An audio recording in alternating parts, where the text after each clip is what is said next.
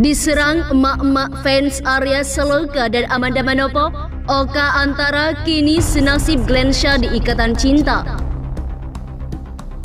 Aktor Oka Antara masuk dalam jajaran pemain baru sinetron Ikatan Cinta yang dibintangi Arya Saloka dan Amanda Manopo. Pemirsa, bersama channel Fatan Official, kami hadirkan kabar terkini, terpercaya dan teraktual tapi sebelumnya, jangan lupa untuk like, komen, dan subscribe dan aktifkan notifikasinya agar kalian tidak ketinggalan berita-berita terkini dari Fatan Official. Diserang emak-emak fans Arya Saloka dan Amanda Manopo, Oka Antara kini senasib Glensha di Ikatan Cinta. Aktor Oka Antara masuk dalam jajaran pemain baru sinetron Ikatan Cinta yang dibintangi Arya Saloka dan Amanda Manopo. Namun, gara-gara peran yang dimainkannya, Oka Antara harus menerima nasib tragis seperti pemeran antagonis lainnya di sinetron Ikatan Cinta, termasuk Glenn Shara. Penyebabnya memerankan Papa Jessica, Oka Antara diserang emak-emak fans Aldebaran dan Andin lewat akun mensosnya. Diketahui sinetron yang tayang di RCTI itu kian semakin membuat para fans penggemarnya gemas. Apalagi kini penampilan teror yang menimpa keluarga Aldebaran dan Andi setelah teka-teki kasus pembunuhan Roy selesai dengan tersangka Elsa yang kini berada di tempat rehabilitasi. Rupanya keluarga Al-Fahri yakni Aldebaran dan Mama Rosa belum bisa tenang Terlebih, beberapa episode terbaru Ikatan Cinta. Keluarga Aldebaran kerap disantroni oleh teror yang dikirimkan seseorang yang misterius hingga baru-baru ini di kamar Mama Rosa ditemukan ikan busuk. Bahkan, sinetron Ikatan Cinta kedatangan pemeran baru berwatak antagonis yang diperankan oleh Oka Antara. Oka Antara dalam sinetron Ikatan Cinta menjadi karakter bernama Irfan Adi Cipta yang merupakan Papa Jessica.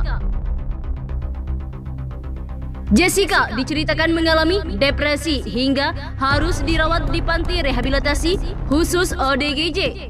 Usai di masa lalunya menjadi sekretaris hartawan Al-Fahri. Berperan sebagai Papa Jessica, Oka antara memerankan sosok dalang di balik teror terhadap keluarga Aldebaran Alfari.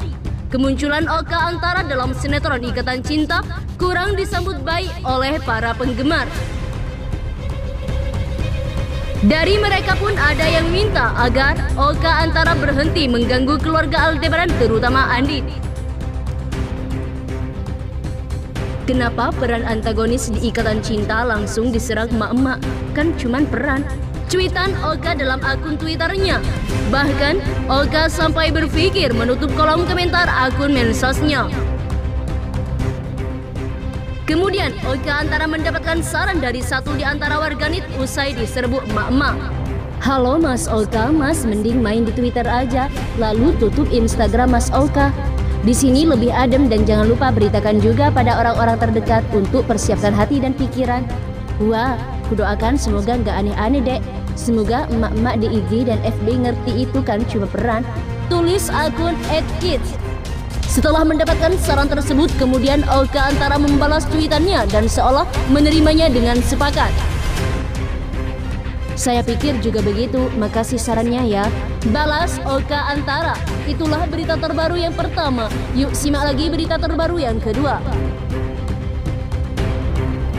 Amanda Manopo bagikan potret jadi model perhiasan. Kecantikannya tuai pujian. Amanda Manopo menjadi artis papan atas tanah air. Pemilik nama Amanda Gabriela Manopo Lugu itu mendulang popularitas lewat sinetronnya bersama Arya Saloka, Ikatan Cinta. Di usia yang menginjak 21 tahun, Amanda memiliki karir bersinar. Tak hanya di bidang seni peran, mantan kekasih Billy Syaputra itu menggeluti bisnis dan sukses menjadi brand ambasador dari beberapa produk. Terbaru, Amanda didapuk menjadi model untuk brand perhiasan ternama Lotus Gold seperti dilansir dari Tribun Style Minggu 2609. Di laman Instagram, Amanda Manopo membagikan video memamerkan perhiasan Valency Collection dari Lotus Gold. Pemeran Andin tersebut dengan percaya diri berjalan mengenakan outfit hitam.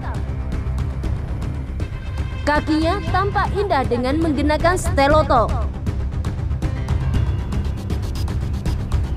Berbagai perhiasan mulai dari kalung, gelang, cincin, hingga anting dipakainya. Memukau dengan rambut pendek, rambut pendek Amanda Manopo membuatnya tampak fresh.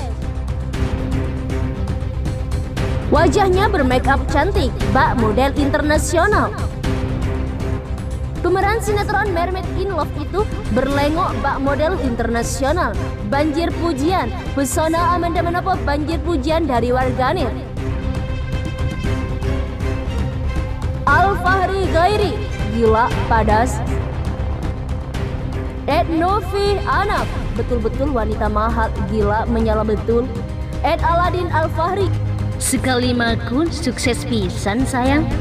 HTTPSC Bau badas sekali.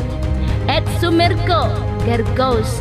Ed Magaluf Piana Definisi cantik dari berbagai sudut. Edna Dini Naluria 20 Badas and berdamai sekali kak 7 pabrik uang Amanda Manopo. Amanda Manopo kembali curi perhatian dengan menyetir pakai hijab usai rencana bangun masjid. Amanda Gabriela Manopo Lugu atau lebih akrab Amanda Manopo baru saja mengumumkan akan membuat sebuah masjid. Rencana tersebut diumumkan oleh Amanda Manopo melalui Instagram Stories at Amanda Manopo. Bismillahirrahmanirrahim. Atas izin Allah dan rezeki yang diberikan dengan segala kerendahan hati berencana ingin membangun masjid. Tulisnya Sabtu 18 September 2021. Sampai saat ini Amanda masih mencari lokasi yang tepat. Bahkan dia meminta bantuan para penggemar untuk mencari lokasi pembangunan. Adakah rekomendasi daerah atau wilayah yang bisa dijadikan tempat ibadah atau ingin adanya tempat ibadah di daerah tersebut? Bisa hubungi Rico Rihardo. Sambungnya. Niat baik lawan main area Seloga di Ikatan Cinta ini tentu mendapat sambutan baik dari publik. Tak berhenti sampai di situ, makin mencuri perhatian, kini Amanda terlihat menyetir mobil menggunakan hijab. Dalam video, pemeran Andin di Ikatan Cinta ini terlihat menggunakan hijab berwarna abu-abu, lengkap dengan masker. Kala itu, dirinya mengendarai mobil yang ditumpangi sejumlah temannya. Momen tersebut dibagikan melalui akun Instagram fans Amanda Manopo. Drivel mahal nih, bos cantik banget kan Amanda? Ikatan Cinta, tulis akun tersebut.